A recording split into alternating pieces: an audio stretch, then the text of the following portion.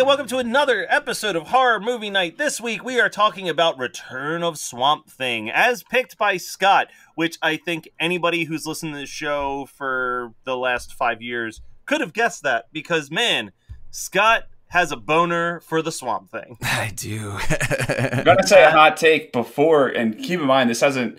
This is coming out in 2020, but this is 2019 right now best movie I watched for this this show in 2020. I'm calling it in December of 2019.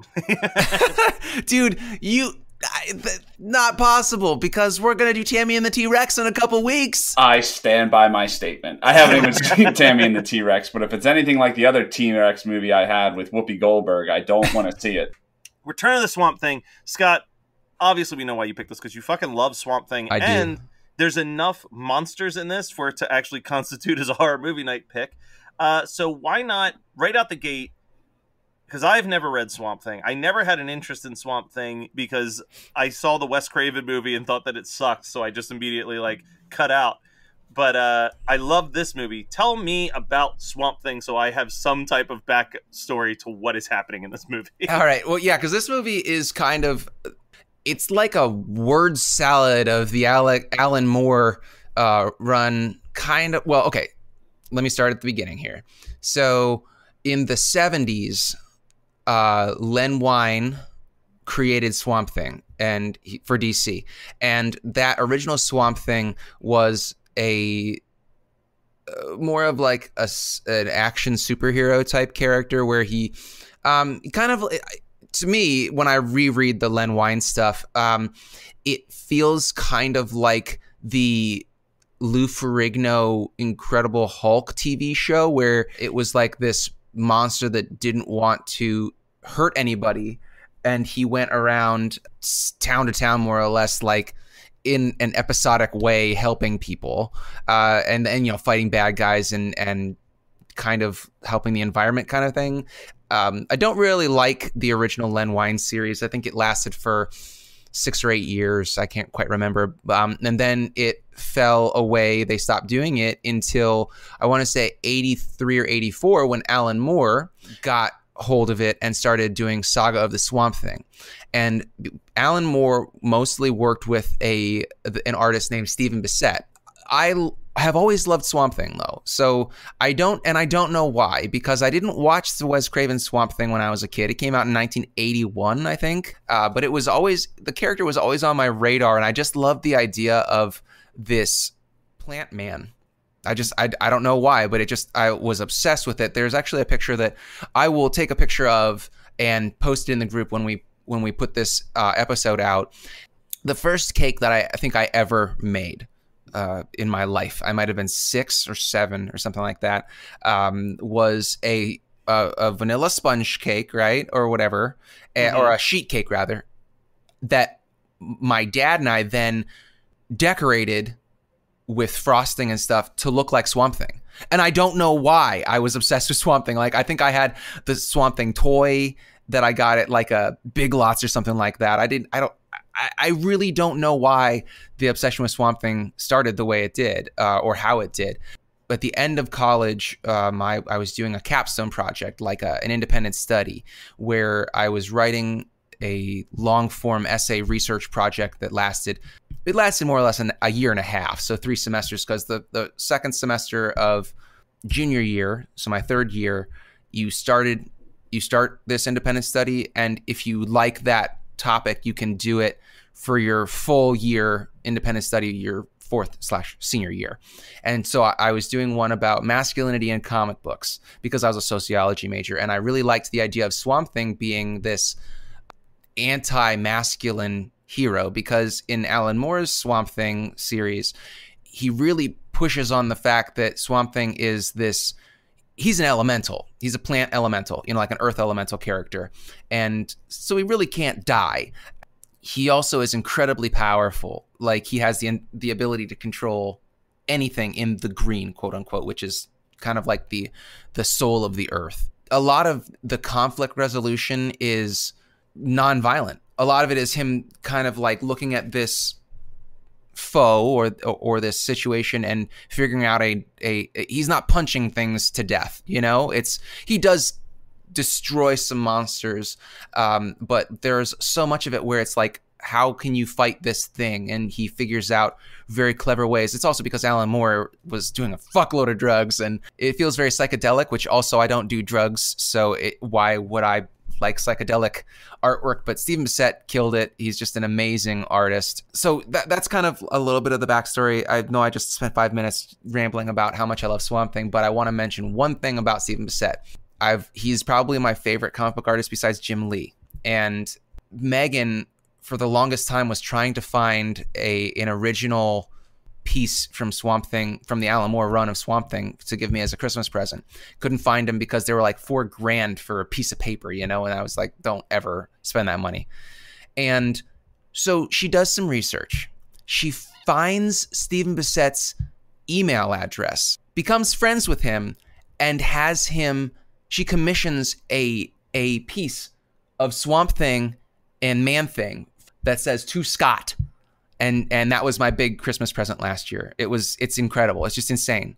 Sorry to uh, Geek History Lesson because Scott kind of just stole their their whole shtick for for eight minutes. So if you want to learn even more about Swamp Thing, go and check out our friends at Geek History Lesson and listen to their episode on the greatest Swamp Thing stories. And I'm pretty sure they have an individual episode just on the history of Swamp Thing as well. Uh, it's a great podcast for you to learn things about comic book characters that you uh, may not have actually read any books about. Let's get into and thank you all for for letting me uh, if you fast forwarded through that that's totally fine. Uh, but also if you want to uh, know what stephen bissette's artwork looks like this entire intro scroll is is well, almost all of it is artwork from stephen bissette's run with alan moore on saga of the swamp thing there's also some stuff from the len wein run as well but um, most of it's stephen bissette now before we even get to the opening credit because there's at least two things oh. that they happen before we even get there. Yeah. First of all, the movie opens and just reminds me of the paintball scene from Jason Lives. it does. like just some guys just hanging out in the woods, wandering around in a swamp. I'm tired of this slimy crap. Just team building exercise. But the other thing that I love about this movie, and like, first of all, the big difference to me between Return of the Swamp Thing and the Wes Craven Swamp Thing is that like the Swamp Thing suit look just looks so much better. Oh yeah, in this movie because it actually looks like it's part of a swamp versus like like the uh I don't know, like the the Wes Craven Swamp Thing just kind of looks like the '70s Incredible Hulk with like vines on it. Like it's not a very good suit. But man, not only are they proud of that Swamp Thing suit, they are proud of this monster suit as they should be, dude. And uh, show it right yeah. out the gate. Like there's no like Jaws build where it takes us a couple like an hour to see what these monsters look like. It's like he looks at it and you see it in all of its monster glory and it's fucking awesome. is uh is the original Swamp Thing movie is that horror or Nah. is Wes Craven did like a comic book movie? Just like a family comic book movie. Oh. Yeah, this is this is such a better movie. But I I did laugh out loud uh, when you know we have this whole scene. These guys are getting just ripped apart by this monster, and then Swamp Thing comes and saves them, uh, and then immediately kick into the Creedence. Yeah. Dude, the Born the Born on a Bayou fucking intro with the comics. It was, oh man, what a perfect intro. yeah, born on a bayou. Oh, it's so fun. I and the funniest thing was that for a second I didn't realize it was that Creedence song. I thought it was another Creedence song, which oughta, also would have fit. I thought it was uh, "Run Through the Jungle," like, but uh, yeah, "Born on the Bayou," perfect song to kick off this movie. And like, here's the thing: do I? This isn't a movie that I necessarily love, but I like it a lot. And the big reason I like it is because my god there are so many monster practical effects that just keep popping up through this movie and they all look fantastic Yeah. Yeah. I was as I was watching it, I was like, I have three potential double features, and I'm fairly confident that I will have to use my third because I just feel like we're all going to pick the same three double features unless someone Yeah. goes super obscure.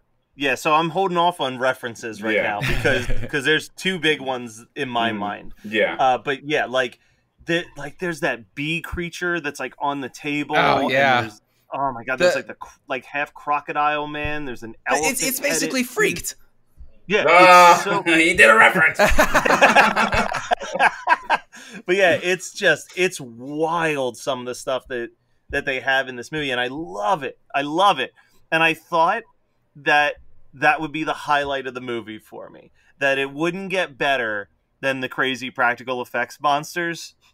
And then we introduce the kid that sounds like a mixture of the old lady from Poltergeist, Cartman, and the egg lady from egg lady. I said it was the egg lady to myself. I was like, oh, he's going for the egg lady. 100%, dude. That kid is someone high up's child because he is a shit actor.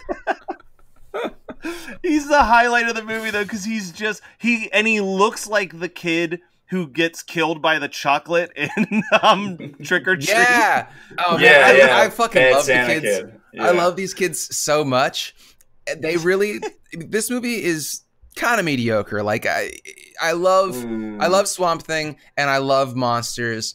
I love the idea of the unmen, which is actually like the the monsters in this are the unmen because in the cartoon uh Anton Arcane is doing these experiments and and he makes these unmen. So this is kind of like a bastardization of a million different Swamp Thing ideas, but um I, my favorite is definitely the Kmart Cthulhu that pops up at the beginning.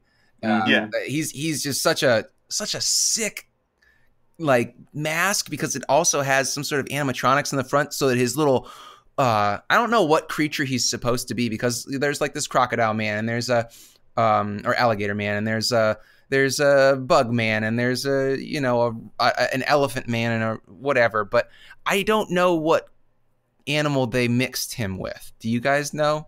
no he he almost um what was he was reminding me of something that i'd seen in another movie and i'm blanking on what it was now but yeah he's just got this long like long jaw with like teeth all down the sides and just this constant like slurping noise yeah, coming yeah, out of it's, it it's just so so cool. I just absolutely love the look of that character. Like if I got to the point where I was talented and and ambitious enough to do that as a mask, like l- figure out how to do that mask and actually put animatronics in it, that would be that would be what I would want to do because it's just so so fucking cool. But yeah like the the movie to me is really success succeeds on how funny those kids are and how amazing the practical effects are throughout this film Absolutely. And the Uh, one kid reminds me so much of the kid from Stranger Things. Yeah. like Even though this movie is so much older than Stranger Things. Yeah. Well, he's. The, the, I have one note that just says that's just so much porn. Yeah. Oh my god. Uh, oh. Oh. I have lines from that. Um. Wow! I can't believe it. Look at these babes. oh man, I Oh my fucking God. love it. Also, you know what else I love? I love all the female mercenary guards in spaghetti strap tanks and pleather boots. it's okay. We we do need to talk about the fact that this was directed by Jim Wynorski Yes. which Yes, absolutely it makes it a uh, horror movie night movie. The I mean, Chopping Mall. This. yeah, and and you know who else is involved in this movie? Chuck Cirino did the soundtrack. He's also the guy that did the soundtrack for Chopping Mall.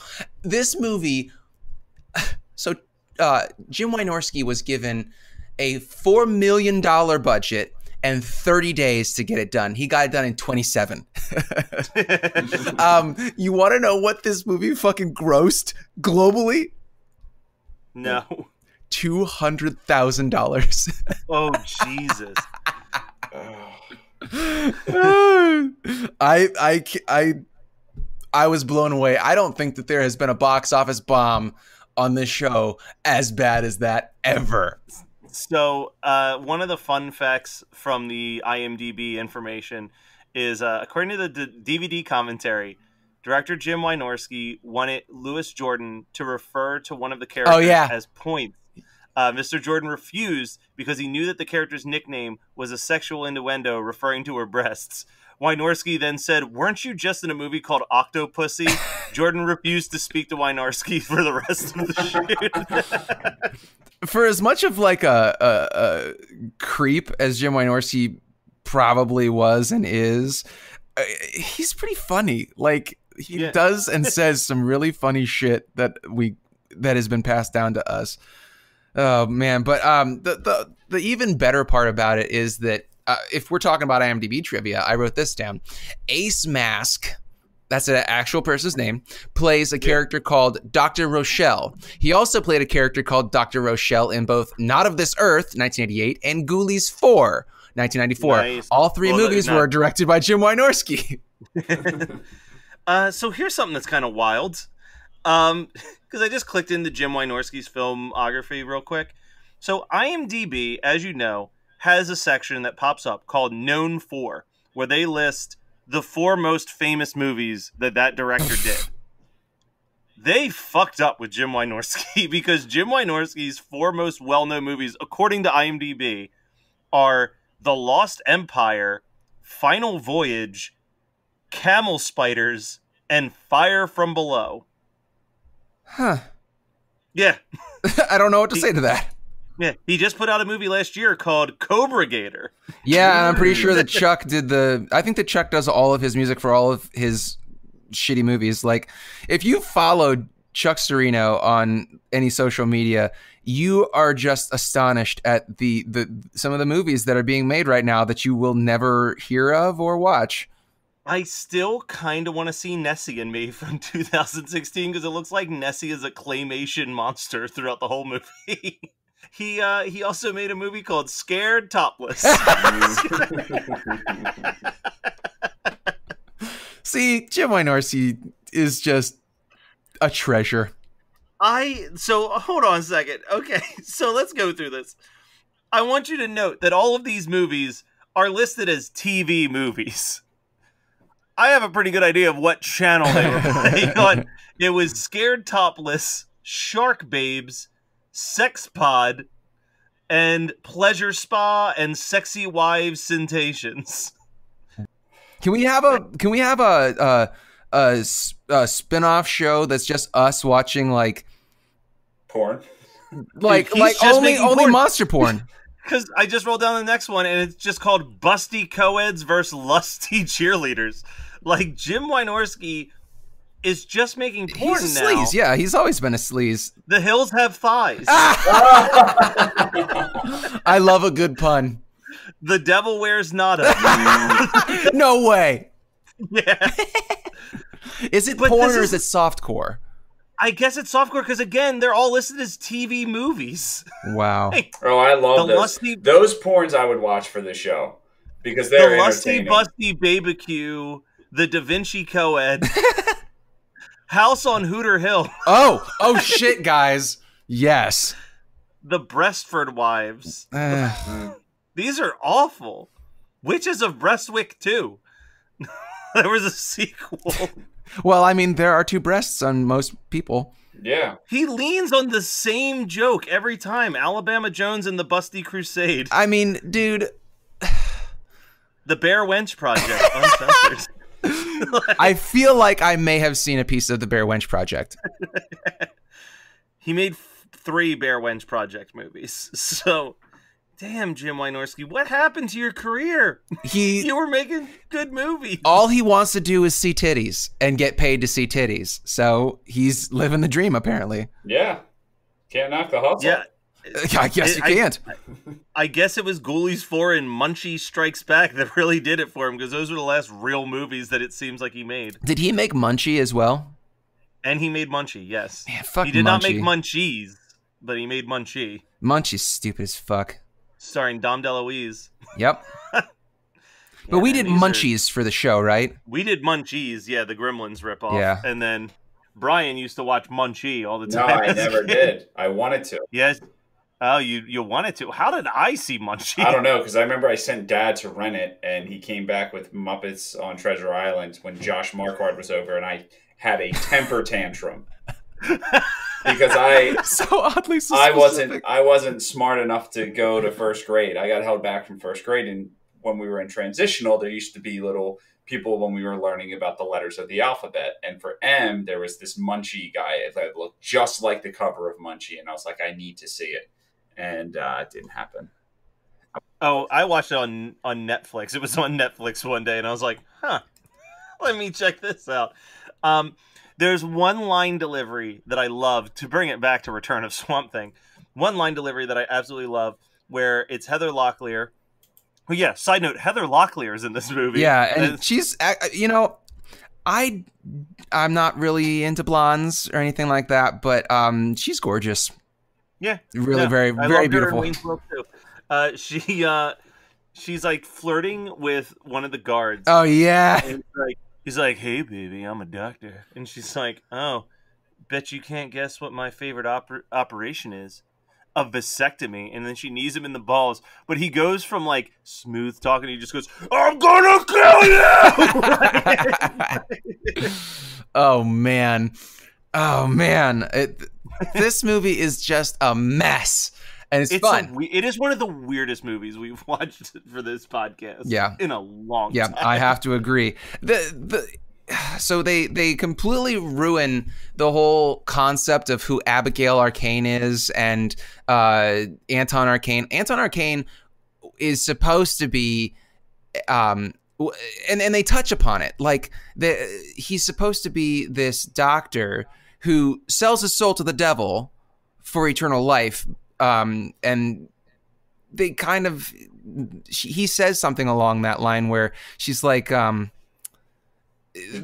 did you make a pact with the devil or something like that? And he says yes something like that. Um or she's maybe she said did you sell your soul? And he said something like that. So they do touch on that. And they touch on alec holland's uh transition into swamp thing a little bit but th- and they talk about um and, and she does get killed and then he brings her back. These are all things that happened in the comic books but they're just glossed over in such odd ways because jim wynorski's like you know what we need in a swamp thing movie? Fucking grenades.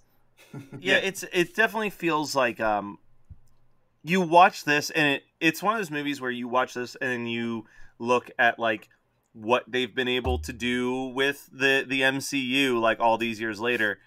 And it's it's impressive that they like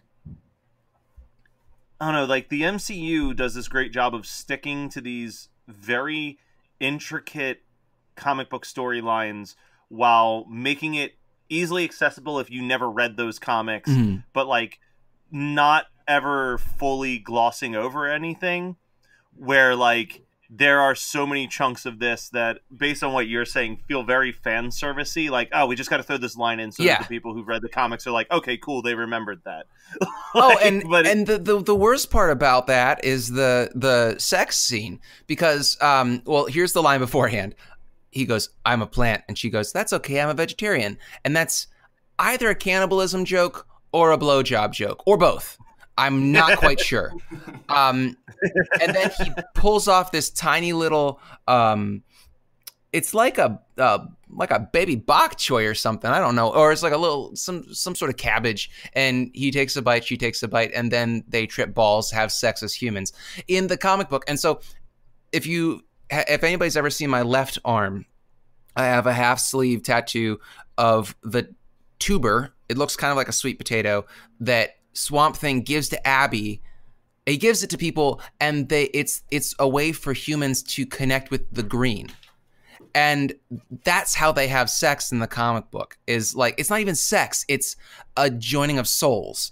And this is just such a a gratuitous bastardization of that concept.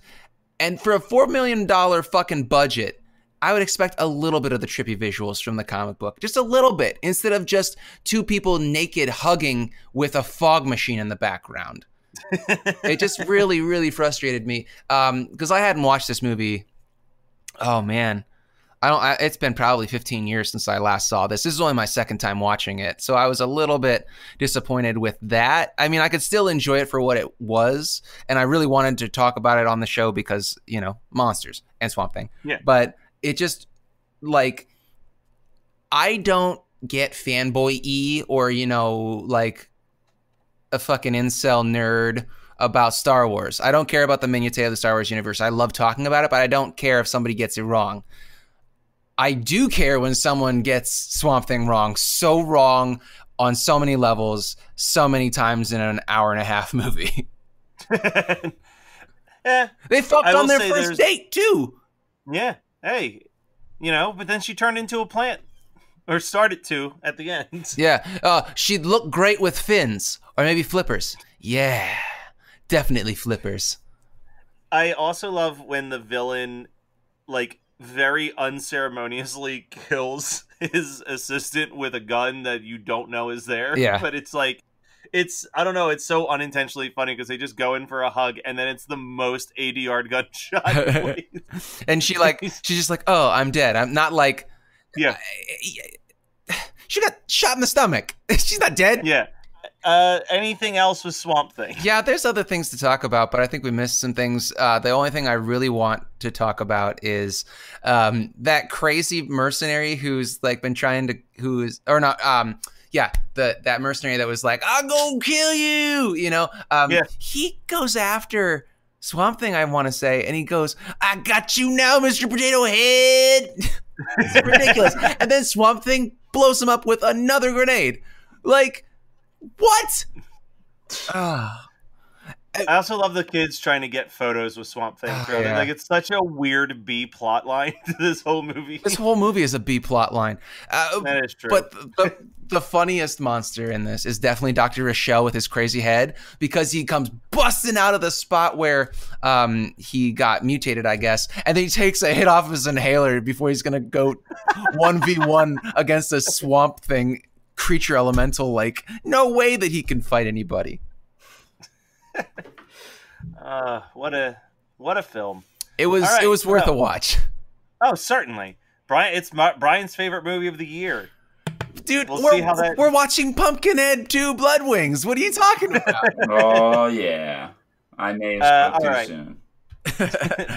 So, does anybody have a double feature with this movie? Scott, you picked it. You kicked. Of course, I have a double feature. Unlike you two weirdos, I write my double features down immediately upon finishing these. I got two of them up in here. Well, you Mhm. can't say freaked. Okay, so I have No. two of them up in here. no, Matt, you can do freaked because I know that's what you would really want to do. Um, No, that's not, that actually was not one of the two that I had. okay, and I'm not Alright, doing good, yeah. freaked. I'm gonna do Guyver 2 Dark Fuck. Hero. Son Fuck, of a bitch! yeah. Are you guys serious? Got, yeah, that was I got one, of one up here. I got I got one left. I mean, I technically had, I had, I had Guyver one, the first Guyver. Guyver but 1 isn't nearly as similar. Yeah, Yeah. I know. I, I just think for me it was because the bug monster immediately made me think of Mark Hamill turning into a bug monster. Yep. Kill me. Uh, all yeah. So, all right, Guyver, Guyver two, the Dark Hero. Uh, I'm gonna go with Brian. I'm so sorry.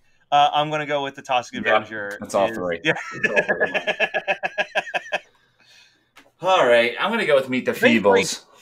Ooh. Meet And the I'm- Feebles? Yeah, and I'm not happy about it.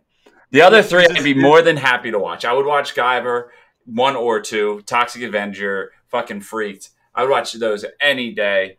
Meet the Feebles, like I, I, I respect it for when I saw it, but I rewatched um, that and Bad Taste, and like they just don't do it for me. They're not bad, but it's just like boring. They both bored me. I think I think Bad Taste is slightly better than Meet the Feebles. Yeah. though. because Bad Taste has the overacting of Peter Jackson playing two different characters. Yes, yeah. which, which gives a little bit more steam to that movie than, than it otherwise would have. But I think that But, I think that yeah. they're great movies in the sense of like don't give up on your fucking dreams because he made Lord of the Rings. like, Yeah, no, and and like for what like. I'm not, and this is the thing. I still really like Bad Taste, but it's not a movie that I like put on as often as I used to. But I'm always impressed by, like you said, it's a, it's a, both of those movies are like making a movie because you want to make a movie and finding a way to make it work, whether you had money to do it or not. yeah. So like, I applaud that. hmm But like to me, he's always going to be his peak is always going to be Frighteners for me. Oh yeah, great Um, movie. All right, so uh, Scott, anything that you've watched that you want to want to give a, a good old shout out, a thumbs up, and a, and a pat on the ass to? Yeah, yeah, I do have one thing, and it's oddly re- uh, it's oddly um, applicable to this movie. I finally watched The Wasp Woman. What? Like the '60s movie? Yeah, It's a good movie. it's really fun. It's not. It shouldn't be fun, but it's it's fun. I have that on a bunch of different like public domain. Yeah, I watched it on DVD YouTube, and no one's gonna take that down. yeah. but it's it's just it's it just feels so fun. I loved the thing that I loved the most about it was how bad the uh, special effects were, but also the fact that the cover is a wasp with a woman's head, but Yeah. the actual monster is a woman with a wasp's head. Yeah. know, I was very much cashing in on the fly at the time Yeah. with that artwork. It's fun, It's a though. great poster. It's a great poster. I Actually, like the movie better than the poster, if that makes sense. Does that make sense? Yeah. No, that makes sense. I get what you're saying. But uh, yeah, no, that's a good one. That I think, yeah, that's on at least two different public domain DVD box set things that I own. I will actually just do some self uh, some self promotion because uh, I got two new podcasts that I'm producing that are both coming out this month. One is already out. One will be out uh, in the coming week. Uh, so Roaring Twenties podcast, hosted by Brooke and Andrew of the Disneydo podcast. That's going to come out every other Sunday night, uh, and it's the two of them covering different topics of growing up in their 20s during the 2020s. Uh, the first episode is a cringe-tastic episode where they look back on the past decade by reading their old statuses from 2010 via the Facebook on this day Oh platform. shit! Oh shit! uh, the second episode, which will be coming out probably right after this episode comes out, uh, is called "Do You Love Me and Other Red Flags," uh, and it's just them sharing terrible red flags from first dates on dating apps that they've experienced in Wait, wait, wait. Are you telling me that somebody on a first date asked one of them if they love them already? Yep. Go ahead and listen to the Oh, episode for more man. details. Fuck. Uh, and then also uh, coming out very, very soon, uh, my podcast, One Hit Thunder, hosted by Chris Fafios of Punchline. Uh, each week, he goes through a different one hit wonder with a guest and determines if the band's failed success was a one hit blunder or if they constantly brought the one hit thunder. Uh, so come and check that out. The first episode will be on Aqua Barbie Girl. oh, nice. I already know what I think about uh, about if they're a one hit wonder though. So so that one that's that's kind of a going to be a controversial episode. yeah, yeah. Uh, but yeah, so that's my thing. Brian, what do you have to promote? I got nothing, man. I really got nothing. Why don't you promote your business? yeah, you got a company. Oh. and thousands of people that might be looking for an editor that listen. Oh yeah, so I have a company. Um, Jesus Christ! it is a production company right now. I'm I'm starting this new technique a because it's cheaper for everyone and it lets me do what I do. So you know, believe it or not, my least favorite thing about video production is the actual production. Um, and really, we I I feel like we really have taken for granted the fact that we all carry around a 4K camera in our pocket at all times. Like if you have an iPhone 8 or higher, you you virtually have a, a 4K camera in your pocket. So that's that's the new thing is shoot your own content is what I'm really pitching. And it's just for for businesses to, you know, businesses or individuals to to film stuff with with their iPhone. There's uh, if they want to get more technical and more professional, there's a on my page totumvisual.com there's a list of things you can buy off amazon. You could literally buy the whole bundle for less than $200 and it's like a gimbal lights mics everything that connects directly to your phone. Um, so you can shoot content like uh, literally the movie unsane was shot with an iphone and your fucking company testimonials you don't think a, an iphone will be sufficient enough. It's just absolutely insane. Um, so yeah. And and also my wife is a she works in a marketing company and video is how you need to present your company's content 100%. absolutely The, the the the statistics right now are fucking insane when it comes to the amount of people watching video versus not. Um, the fact that across the U.S., twenty percent of internet time is on Facebook. So like every hour, so you so that's taking every time that someone spends on the internet. Every person in America, twenty percent of that bundled is is on one website, which is fucking crazy that's more than Google. That's more than everything else. Is people are on Facebook and they're watching videos. So it's it, it's not even like a luxury item anymore. It's 100% a necessity. It's a it's a necessary asset for every company to have. If you're not having videos, you really need to have them and you need brian to help you to, make that to edit happen. them. Anyone Yeah. can shoot. Editing's tough. I do it for for 75% cheaper than if you were to hire me to come and light and and produce and mic you up and all that stuff. It is 75% cheaper across the board. So it's insane. So Totum Visual, T O T U M V I S U A L dot com, right? Com. Yes. Totum, just for full clarification, totum is Latin for everything. I understand that totem pole is spelled T O T E M, even though my logo is a totem pole. It's called art. Read a book. oh, and um, by this point, I will be done with Horrors for Lady Killers. Uh, that's two words, as in female killers. Um, and that's going to be going off to um, my producer to be mixed and mastered and ready for March Monster Mania. But um, maybe there'll be some some content popping up here and there.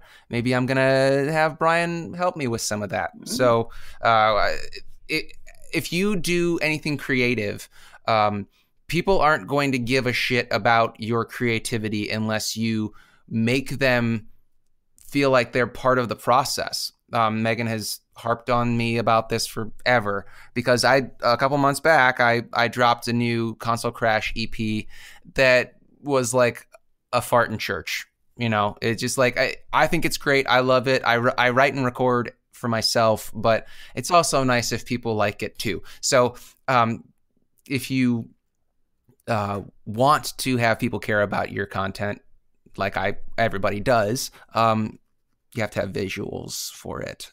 So let them be part of the conversation. So anyway, yeah, that uh, that'll be coming up. I, I just want to make a quick shout out that that's probably going to be showing up on the Facebook page a little bit. Uh, I won't inundate everybody, and if you want to see the whole process, you know, just you'll have to look at my personal social medias. So.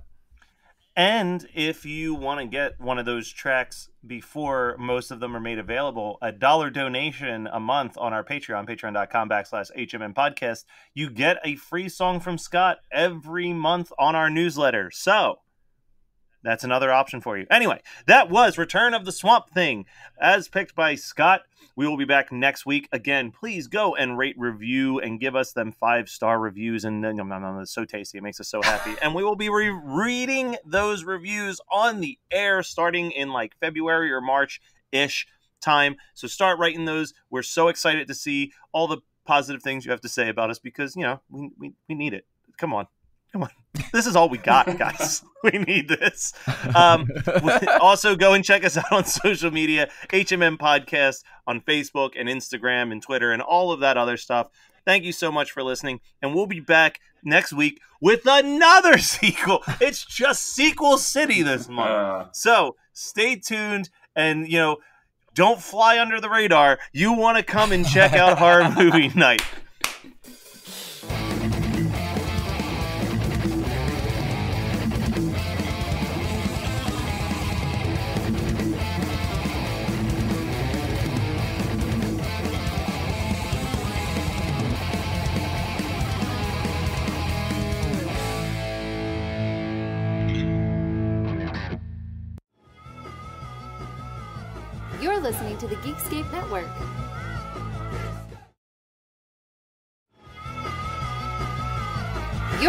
To the Geekscape Network.